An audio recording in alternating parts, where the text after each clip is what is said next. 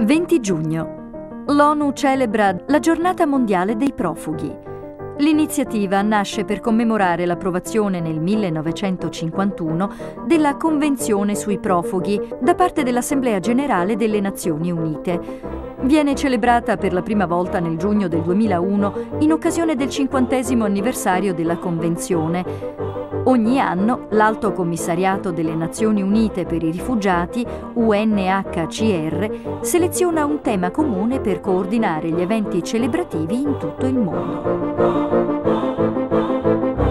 In Italia, come nel resto del mondo, è stata celebrata la giornata del rifugiato. Sono 50 milioni le persone in fuga da guerre e persecuzioni, sfollate in campi profughi o esiliate fuori dai confini del loro paese. L'80% è costituito da donne e da bambini.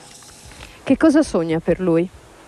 Per lui sogno la possibilità di crescere in un mondo diverso di oggi. Cinque anni fa Ernestine è fuggita da Goma, in Congo insieme a un passato segnato dalla violenza e dalla sopraffazione, si è lasciata dietro le spalle la casa, la famiglia, gli amici. Qui in Italia ha ricominciato a ricostruire la sua vita, ha dato alla luce il suo bambino.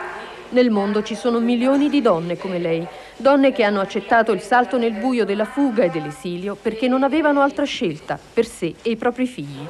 Il più delle volte finiscono in campi profughi. Questo si trova in Inguscezia e raccoglie famiglie scappate dalla Cecenia per non restare stritolate tra l'offensiva della guerriglia indipendentista e la repressione russa. In dieci anni il numero dei rifugiati che hanno chiesto asilo in Europa è dimezzato, passando dai 675.000 del 92 ai 384.000 del 2001. Eppure, ora rischiano di fare le spese di una politica europea che vuole serrare le fila per combattere l'immigrazione clandestina, un pericolo che l'Italia vuole scongiurare.